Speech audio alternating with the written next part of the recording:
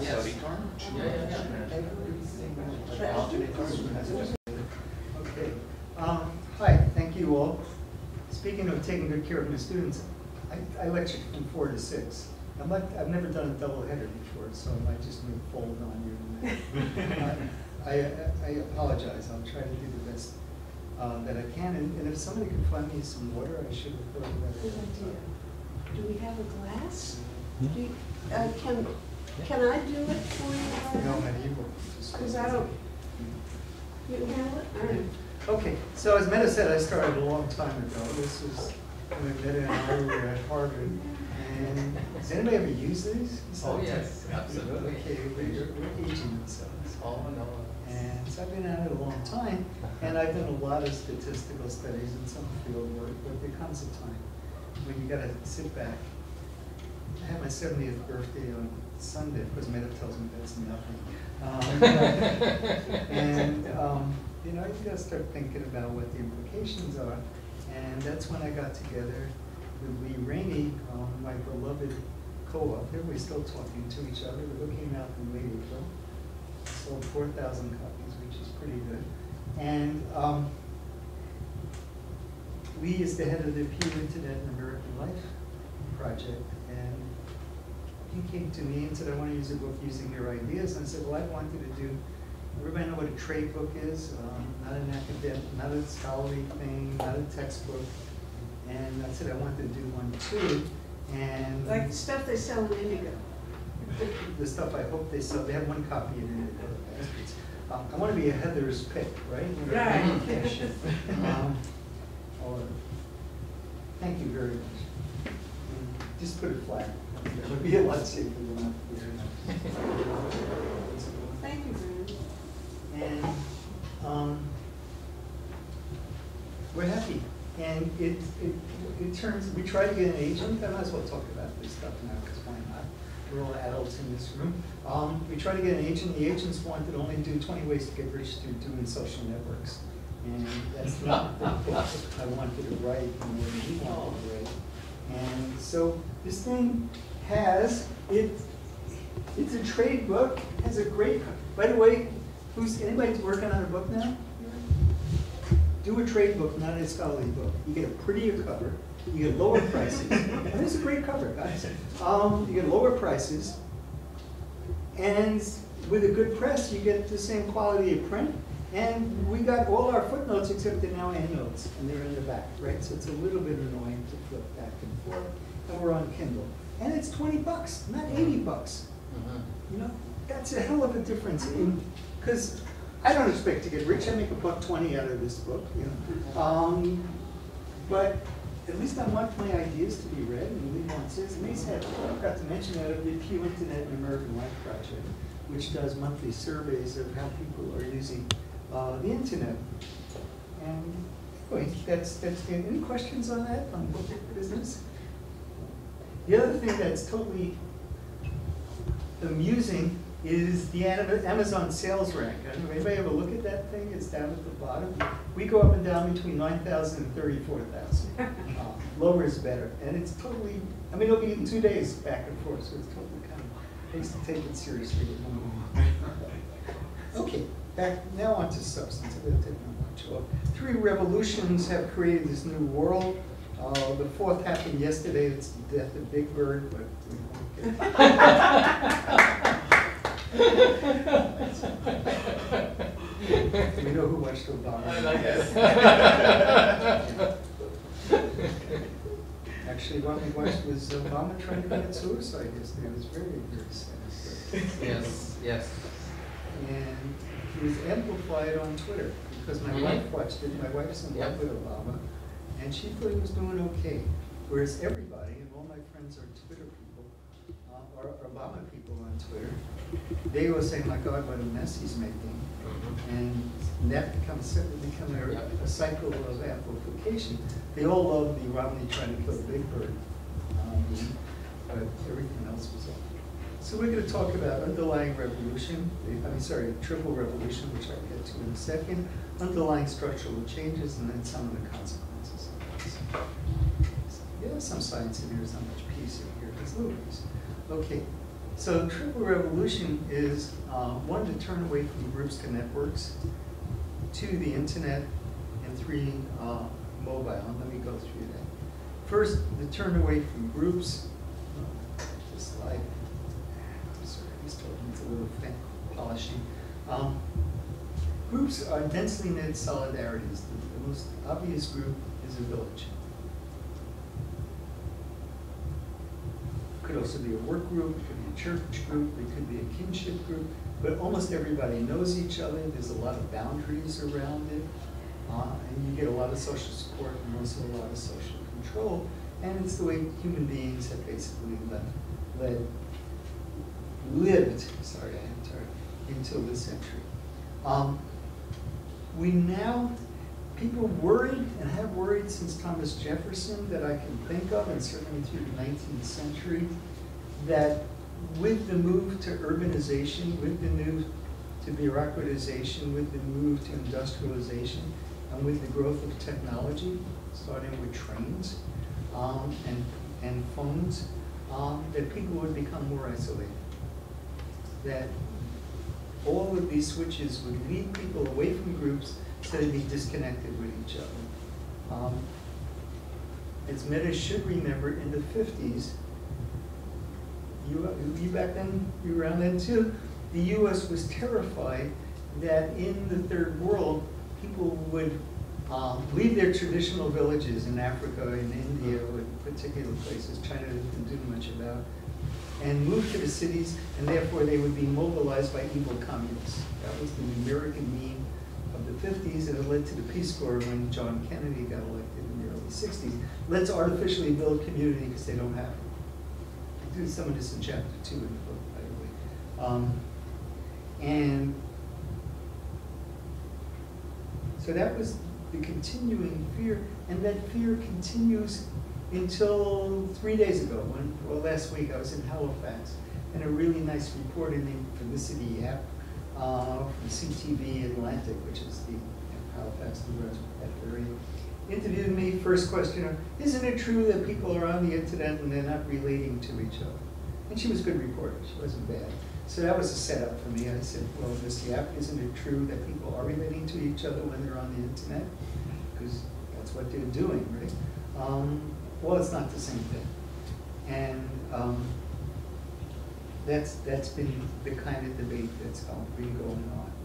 So what we find is, one, that people are in mul, and we find, as, as Metta mentioned, in East York principally, where I've done my research, people are in multiple networks, they're not in one little group. I remember when I did my first study way back in nineteen sixty-eight, we collected the data, that we found that people, only about thirteen percent, if I remember, of the people who were their close friends and neighbors were in the same community. We're in the same, I'm sorry, we're in the same neighborhood, they were in the network community, but they lived well outside of East York, people had to travel to find them. That was shocking. I'll never forget, um, when, when was the Spadina Expressway fight?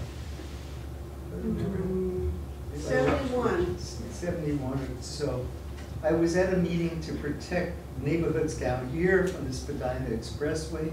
Uh, people, Alan Powell, who's now dead, Stephen Clarkson, Colin Vaughan, the father of our current older person, uh, Adam Vaughan were active. And they said, yes, we gotta fight our neighborhoods. And I looked around and I looked where they were coming from. Most of them had driven in.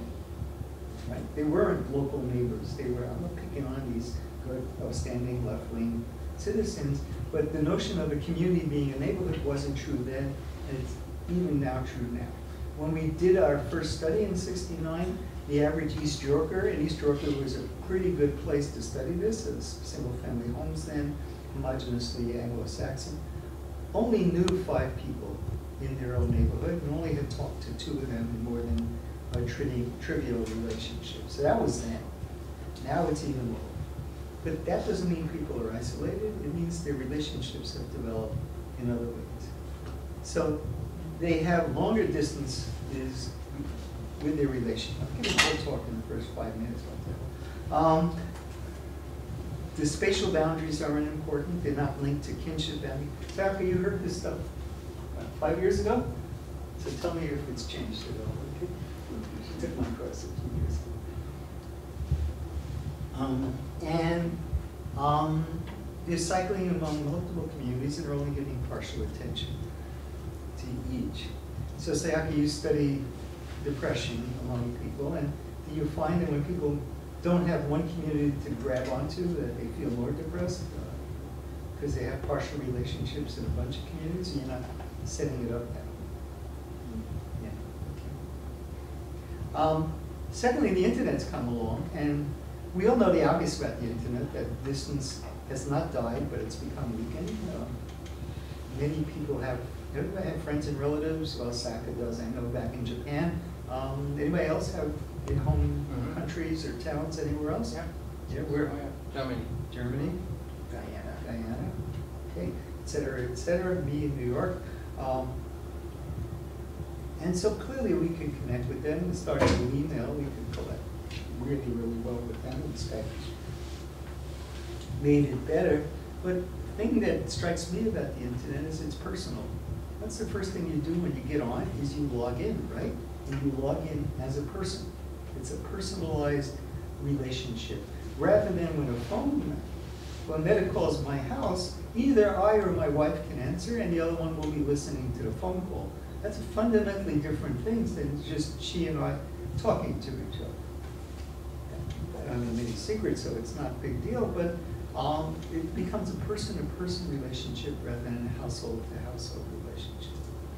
And the last thing is, the thing that hope everybody should sort of shut off is their mobile phones, um, or their laptops, or their tablets, no tablets around, no tablets out.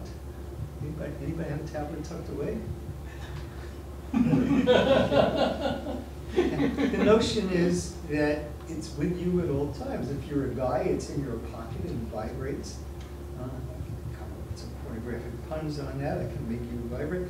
If you're a woman, it's mostly in your handbag. It's, I, I don't- understand why, I mean, I, I think it's a phony excuse when women say, I didn't hear the phone is in your handbag. Get, get a pocket, put your phone in. And that has two things.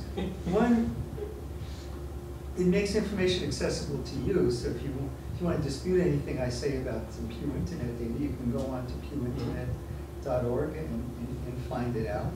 Uh, you can make, people are accessible to you.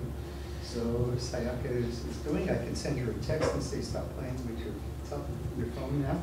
Um, I should try that in my class. That's right. No, I do a cool thing, in my, my class is hundred people, it's over at Sid Smith, and it's a tiered thing. So I- it's still gonna do here, but I have a remote on it. So I've been going up to the top of the room and looking down on students, and that means they can't text their boyfriends or their girlfriends, and, um, and one guy had porn as his screensaver. I had to point out to him that that wasn't, it was probably sexual harassment because there were women sitting around him. Um, You know, we don't ever really think of it like that, but it could be an issue. So we're available to others whether we like it or not. Um, And that means we, there's a danger of being on twenty-four seven. Um, This is a pretty old group, not to, you know, older than my undergrad. Any undergrads here? Okay, a couple. Uh, anybody sleep with their phones, literally in bed with them? One guy, well, two guys. One third of my undergrads say they do. I haven't obviously checked. on- I would say take a picture. Um, the other, almost everybody else sleeps with the phone on their night table. Uh-huh. So it's, it's a personal uh, kind of thing, and that varies by age, and it varies by marital status, because I live in a house with four stories, and I'm not walking around with my phone with all the time, but we have five home phones. About a third of my class of twenty-year-olds do not have home phones. Anybody here without a home phone? Oh, yeah. Are you all single? My choice, or no? No? You- You and your partner each have your own phones. And how do you talk to each other? You call each other? Uh, she has texted me for when I'm in the basement. Okay, so it's, it's, it's, uh, it's an individualizing world, but it's a networked individualizing world because you are texting each other. There's a wonderful German cartoon that I can't find anymore, with a husband and wife sitting and each reading the newspaper at breakfast, walling off from, from each other. So one of the things that's happening is um, the transition from at- atoms to bits. Uh, By an atom, I mean the material culture. We know until the 1970s or so in America and I think in Japan, people basically made stuff or they traded what they made. Um, They were making goods, they were growing things, they were mining things, we still do that, it's called the oil sands. But all of the developed world economies has changed into a digital, a bit-based economy. I stole that term from Nicholas Negroponte, found in the MIT Media Lab, in which we move stuff around. I would assume everybody in this room is a bit worker, right? You move, you're moving things around, you may be drawing on a screen, you're working with a screen of some sort. Anybody not? His primary job is, is manufacturing or selling goods and stuff. Be surprised. Yours? Yeah. What do you do? You I manage an apartment building. Manager apartment building. Yeah, it's a big one. That's Adam. Yeah, you're right. Um, and when the change to bit working is a really powerful change because remind me, remind me of the screen on. I haven't said anything bad. have Good. Okay. Yeah, it is down. Because it means you can work remotely as you, what's your name? Brian. Brian, you probably work remotely and do computer type stuff too, because you're a geek, you- whatever you manage. Um, you can work separately, so that Metta and I can communicate about this talk. Well, we finally did manage to have lunch the other day. Uh, on it, you can work in a distributed sense, so that your partner that you're working with, you could be sending your paper back and forth, or you can be using Google Docs. Use some all the time. Um, and so it's a profound kind of change in how we organize our lives. And it affects public-private boundaries. If you were in Oshawa building cars for General Motors, you couldn't take that work home with you unless you were a senior manager. But if you're here at U of T or writing papers or in an advertising agency, just think about how Mad Men, I assume you've all seen that, would be like now. They'd be dispersed. Um, they might not be coming in for their scotches and whiskeys and shenanigans. They could be working out of their homes. When Ned and I were at Harvard in the late sixties, one of the big rituals at Harvard every Friday was something called Sherry Hour, where all the big potentates like Talcott Parsons, Stuart Homans, and the little people like Ned and I uh, would gather every Friday at four o'clock. The department would, would pour wine and stuff like that, and we'd all schmooze and gossip and some of the famous people. That still exists, except the big people don't come in. I have a student, undergrad, who's now gone to Harvard, and she says, they don't come in, they're busy working at home, or who knows what they're doing. So the loss of that kind of face-to-face community isn't going on. Anyway, this is a repeat. We've now moved from these place-based, densely knit groups to more far-flung, sparsely knit um, things. This is the picture of the old village. I think, no, I don't have a picture up here. Um, It's the first time I've used a little netbook. It's actually keeping up with me. That's pretty impressive. Um, To this kind of, uh, hello, where's this? Oh, this is, yeah, doesn't it? I can't get an arrow to move around when I'm on this? Not when it's in a, not when it's in a slideshow. Okay. Um,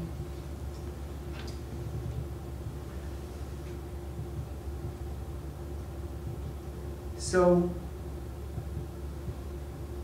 as I said, and this is basically what I've repeated, that things have, claims that things are falling apart. Sherry Turkle wrote a book with almost minimal evidence. She watched her daughter play it online, and she watched people walking around MIT. Uh, Metta, you're a sociologist, you were at one time. What's the sampling problem? Put you on the spot.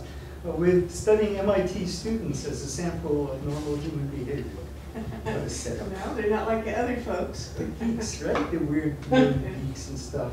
So Turkle actually. Actually, it turns out Cal, no, it's not MIT, but Caltech is at, at the top of the list now of universities Hmm. I in the saw that, and I world. didn't believe a it. Beat out Harvard by three or four points. Oh, yeah, yeah, yeah, yeah. You know why MIT is, uh, you- Harvard has fallen from twenty to twenty-one if you take that stuff seriously. And one of the reasons I'm convinced, because I can fake it like anybody, is they underfund the social sciences here, so. Yeah, it's true. They sure do. Um, heck, Any, any, we have any real scientists here? In Science for Peace? No?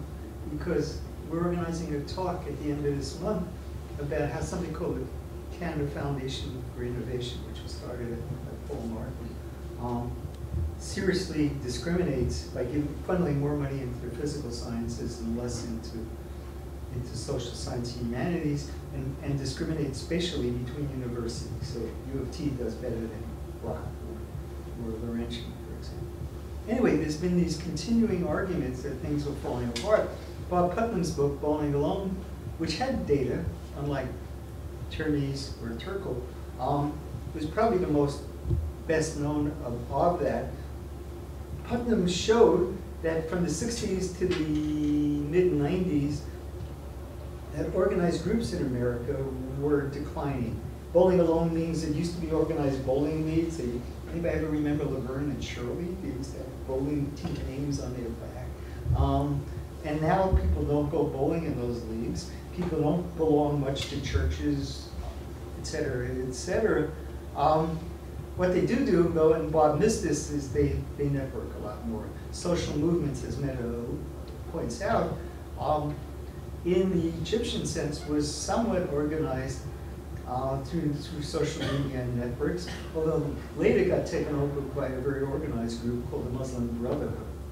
Uh, And Metta, some of your friends were actually trained the original network people in how to do civil disobedience. They came, uh, came the Serbians, who I think had been trained by the American guy, Gene, what's his name? Sharp. Gene Sharp trained the Serbians. Serbians trained the, the original Egyptians in nonviolent protest and how to wear your gas mask and what to put up with stuff.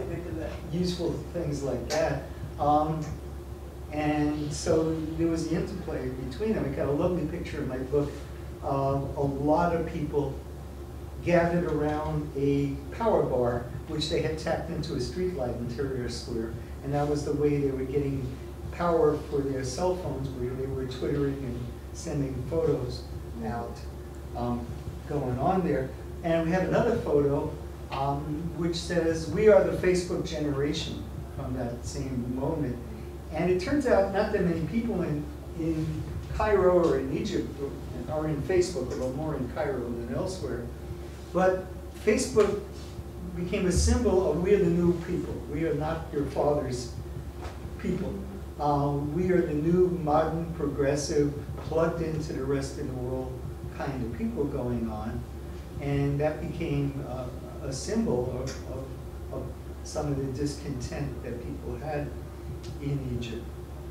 And Metta may remember there was a book in the 1950s by Daniel Lerner called The Passing of Traditional Society, whose dominant image was of a Bedouin riding on a camel, but with a transistor radio hanging from the saddle. And that was his way of plugging in. So this is kind of recurrent traditional technology modernity thing going on. Um, so, I think I'm gonna skip some of this. Yeah, let me know, I'll, I'll do it. Anyway, the media loves the fact of social, loves the charge of social isolation, even if it's not true. And so, um, when three friends of mine, good scholars, Miller McPherson, Lynn's, her husband, his husband, Lynn Smith Lovin, and Matt Brashears, came out with this study called Social Isolation in America. Good study, lousy title.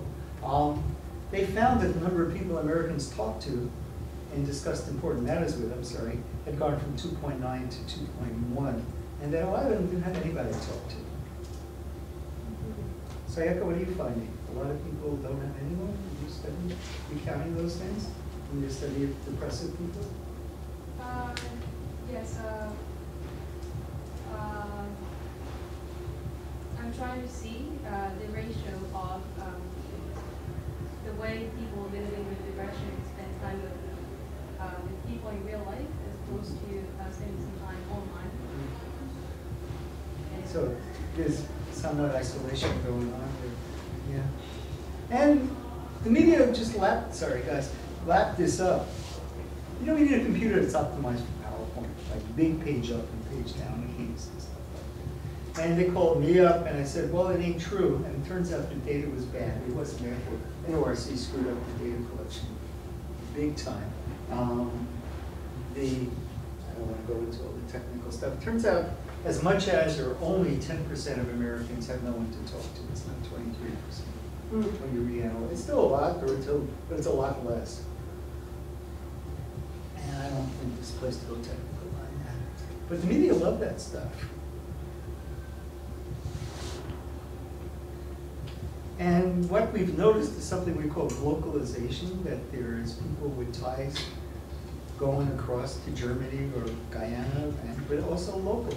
Every time we do a study, and we as about eight people by now have done serious, rigorous research, both qual and quant, doing more qualitative analysis now, is we find that the most common relationships, the most frequently emailed, the most frequently Twittered, even tweeted, are local, are people in your town, Toronto or wherever you have you, less so on Twitter than on email, because email leads to follow through, as does Facebook, although I haven't really studied Facebook yet. Um, And we did a Twitter study, and we found out Twitter relationships basically follow airline routes, because that's where the important relationships go. So Toronto, LA is more important than Toronto, St. Louis even though, so it's not just a distance kind of thing.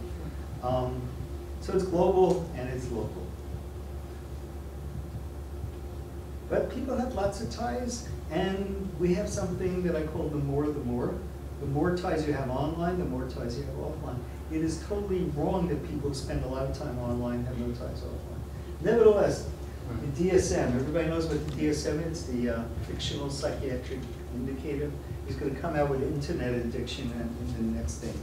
The thing is so political, they just got rid of homosexuality as evil, but now being on the internet is evil. So data for it, by the way. Um, So I want to go ahead, yeah. So one of the structural bases for it, this is where I think I'll just head the talk tonight, is that around us, who's the youngest person in this room? You- probably, maybe, when were you born, what year? 1992. 1992. my God, you're a child. Even since then, there's been major structure, 1990, 1990. Okay, yeah, so congratulations. I was born in 42, I'll let Metta speak for herself. Um, Thirty-one. Impression girl. Okay, first off, we've, we've had a growth in, of, of the number of people, of households that have at least two people, of multiple car households. And that means that when I was a kid, we would go out for a quote, family drive on Sunday, because we only had one car, nineteen forty-eight Dodge, I remember. Um, Now, each person takes his or her car and goes wherever they want to.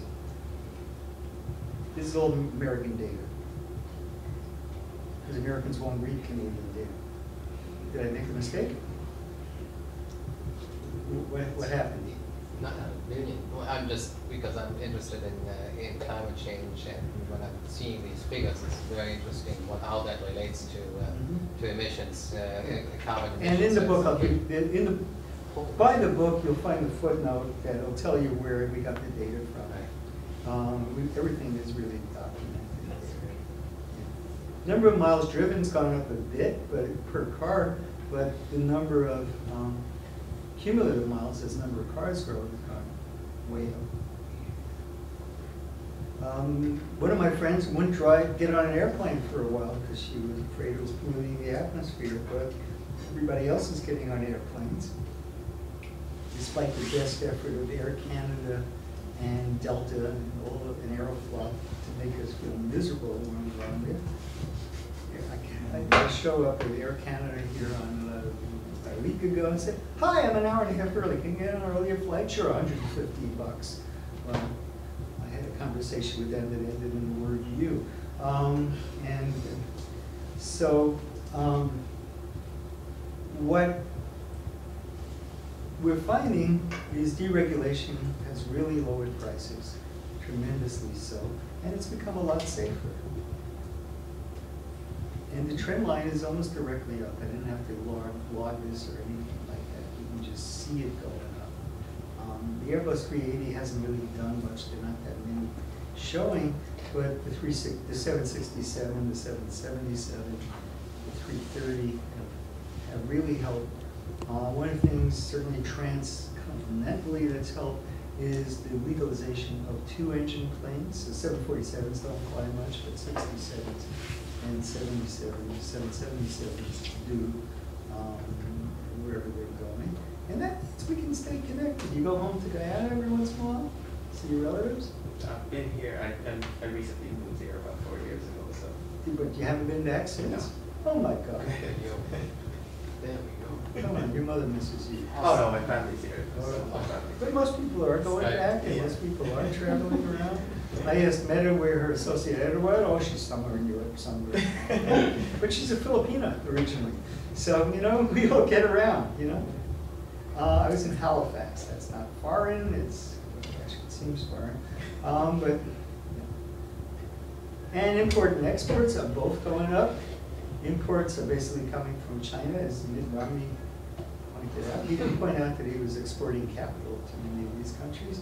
Um, US exporting is dropping, and of course, th- this is one of the few charts that Canadian stuff would look differently with the Russians and oil.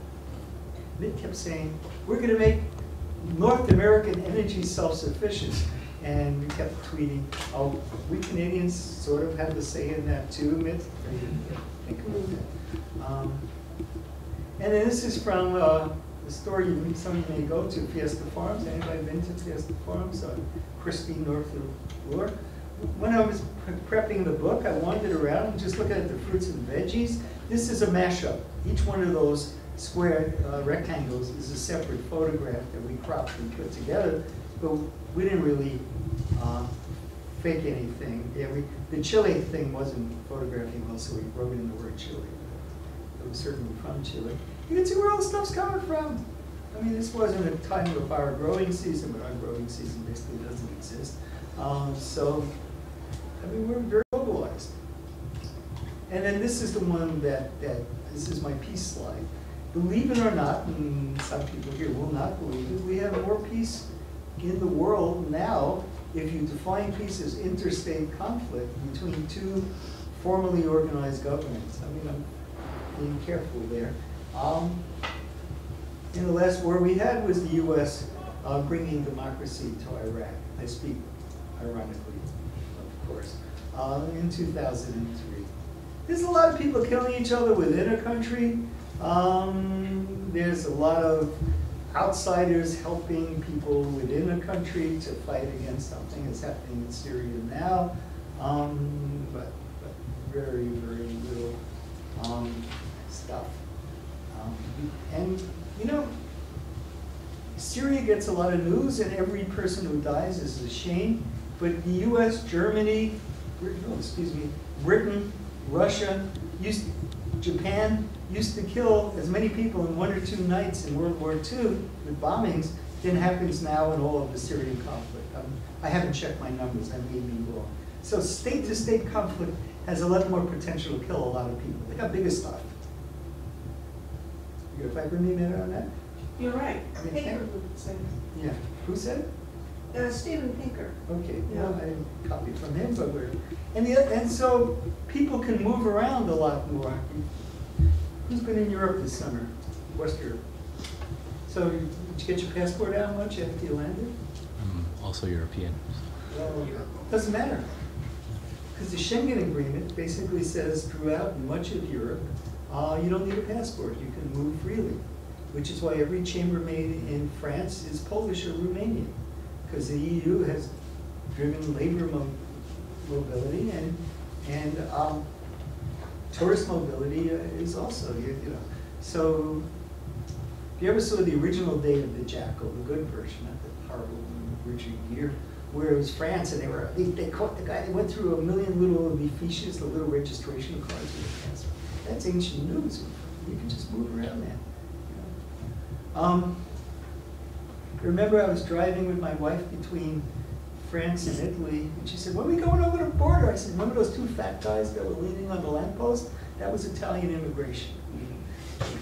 They looked at us. They really were out of shape. Um, So, lots of boundaries are mobile. Um, and we see stuff going on. Let's see, yeah, I did this. This is, this is a memory test for me. My favorite, the most gorgeous human being who ever lived, he's still alive, he's not gorgeous anymore, I think was Sidney Poitier. And he starred in this movie called Guess Who's Coming to Dinner in 1967. The movie's plot was very basic and kind of strange now. It is um, the young woman whose name I always forget, and she's not in the lead titles, calls up her parents, Spencer Tracy and Katharine Hepburn, and says, Mommy, Daddy, guess what? I'm in Hawaii. I met this gorgeous man. He can surf. He has a great body. Oh, and he's a doctor, and he's well spoken, and the guy gets on and charms the parents. And we're coming home three days from now so that you can meet him. And they show up at the door. That's the, the big reveal scene. Guess what? They look like that. Sorry, I'm pointing that way. This, this thing doesn't point. Hell, hell. Um, and they look like, you get the idea. This- By the way, they made a remake which bombed a few years ago, where they reversed it, had a black guy. And uh, had a, a white guy and a, and a, and a black woman, and people shrugged and said, yeah, else is new? Um, and so that was the whole bloody movie, and of course, being good liberals, the filmmaker Stanley Kramer and, and all the actors were good liberals, at the end, everybody was happy. But this was big news in sixty-seven. Couple of little things. In 1967 is when the U.S. Supreme Court did a decision which had a wonderful name. Anybody know it besides me? Loving versus the U.S. The couple's name was Loving. What a great name. Loving versus Virginia. Sorry. Um, Virginia and 16 other states had laws outlawing interracial marriage. It was forbidden in those states to get married. You can go to jail. It's, if you want to look at it now, the footnotes in the book. Um, and the U.S. Supreme Court, to its great credit, that's when the U.S. Supreme Court had integrity, uh, said that uh, it's illegal according to the U.S. Constitution, which forbids discrimination on the basis of race, uh, to have laws outlawing racial marriage, and you can't do that. And it pretty well faded away right away. It didn't get fought too much. Now we got things that this couple, I don't know what color he is, but he's sure in white. Um, Guyana? No? I don't know where it's from, but we have eHarmony commercially advertising an interracial couple. Uh, when you're ready to find the love of your life, this stuff is so non-controversial, except maybe in Mississippi, that you can sort of do this stuff and hope to make money out of it. You know, one day maybe gays will be there too. Um, we haven't seen that yet because it's not quite in the Constitution. It is in our country, it isn't in the US of sexual orientation as being illegal. So, uh, boundaries are loosening up. Uh, religious boundaries are. Metta, what's the name of the building where your, where your Peace magazine is? Oh, it's a, it's Trinity, an, a, a United Church, what, formerly Trinity St. Paul's Trinity Church, Paul. which can't make ends meet, can't get a congregation, so they rent out most of the building to all these left liberal groups like Metta's, right? And, and Tafelmusik used to be there until they moved into the concert hall. So we're finding church, part of it's the move from downtown to the suburbs, but part of it is the migration away from the former big mainstream religious WASP and to some extent Catholic uh, groups in the US, Canada, and, and certainly Western Europe, and I don't know about, about the rest of it. They may exist in buildings, although they, they're closing a lot down, but they have very small congregations. I'll just do an anecdote. I was in Bellagio, Italy. About three years ago, we went to church just for the hell of it. Nice Jewish boy wanted to see what Italian church services. There were only grandmothers and their grandsons, little 12-year-olds that they could, or less, that they could force to go with them to, to church to keep Granny happy. The whole middle generations weren't there, and I think that's a pretty common kind of thing. So people in the U.S. more than anywhere still say they're religious and they believe in God, much more in the U.S. than Canada, by the way. But they're not, except for the evangelicals, they're not putting their money where their mouth is, and the Mormons. Uh, which reminds me, name the first election where there's not a WASP running for office in the U.S., in the main, in the national candidates. This one. Who do we got? We got a Mormon, right? running against an evil black Muslim terrorist. And we got two, that's Barack Obama, in case you didn't know. And then we got uh, two, I mean, and, and if you read the Tea Party stuff, that's what they say. But he certainly isn't a WASP. Would you agree on that? He may look, look- act like it, but he isn't. Uh, And then they got two Catholics running for vice president, Biden and Ryan. And the US Supreme Court, which used to be very carefully balanced for, they would only allow one Jew, then they to two Jews, and they or two Catholics, is now six Catholics, including a Latino woman, but let's get that, and three Jews. Not a WASP on the Supreme Court. This, this is a major change from when Metta and I grew up, where there was strong Protestant, I mean, see Mad Men, Mad Men, they go nuts when they hire a black secretary and a Jewish copy editor who's as brash as I am, and they don't know what to do with it because he doesn't have the right manners. This is in the sixties. Watch a great movie with Gregory Peck called Gentleman's Agreement from about that time, where Gregory Peck was hyper-mannered and, and, and very waspy, discovers he's Jewish, and how he starts acting against what he'd grown up with. It's a very interesting movie. So, I'm gonna basically finish up here. We've had a, a tremendous shift away from the traditional boundaries to networks, to using the computer. You guys see the broadband stuff going on there. Um, most, anybody still have dial-up here? Uh, You probably won't admit it to me, but I doubt it. Anyway, anyway, Here's a girl in my class, and she's basically unemployed.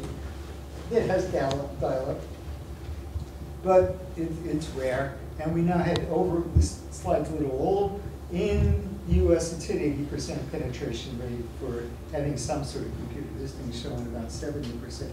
Almost all the people who don't have internet access don't want it. It's a myth that they can't afford it. Um, if they can't afford it, they almost always can find a place where they can go to, such as a library or a community center. They don't want it because often they're old. And what happens to old people? You know what happens to old people? You'll be there. They die. Um, Higher probability. I mean, it's hundred percent probability you're gonna die. Uh, But, you know, it'll take a while. Um, But, so, when you get people like me who've been on the internet or something like it since nineteen seventy-five, we now become the old people. I'm seventy now. Um, And so the really old people who don't want to use this stuff are are basically passing away or doing the next best thing in a hospice care or something. Do we give internet in a hospice care? I don't know if that should be a palliative, I don't know. We'll have to check on that. Um, And we know the gender gap, which used to be real and is still somewhat real in Europe. Japan, still more guys than women in Japan, you know?